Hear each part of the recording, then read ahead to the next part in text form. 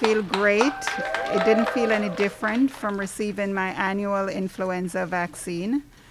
I am very proud to be a healthcare worker, and I'm also very proud to be in this position to promote public confidence in the safety of the vaccine. I encourage everyone to take the vaccine.